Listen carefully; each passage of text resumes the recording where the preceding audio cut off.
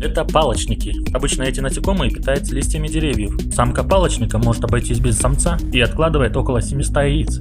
Став взрослой особью, они только и делают, что едят и откладывают яйца. Большинству насекомых нужно прятать свои яйца в укромных местах, но палочников природа наградила отличным камуфляжем. С виду их можно принять за веточку, а яйца напоминают семена. Поэтому они не переживают за потомство и разбрасывают свои яйца, словно с ветки падают семена. Вот когда можно сказать, что с названием не перепутали.